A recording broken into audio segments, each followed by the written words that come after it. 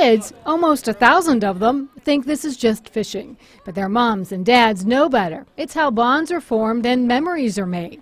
Nice day. Just all of us being together and can spend time together and enjoy it. This is the Canal Fulton Lock 4 Trout Derby, one of seven fishing derbies put on each spring and summer by the Berkley fishing team. Dave Fry has been doing this for years, and it is a labor of love. It's just a way to get kids out in the outdoors with their parents.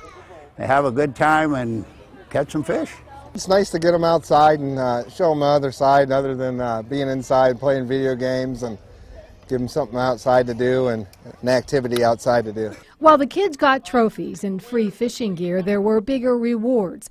Just ask sisters Claire and Addison Seeley. I'm catching fish with my grand dad, my grand pappy. They're two of the best men I know in my life. Aw, cute. Well, this is the first of the fishing derbies put on this spring and summer by the Berkley fishing team. You can find out more information on our website, newsnet5.com.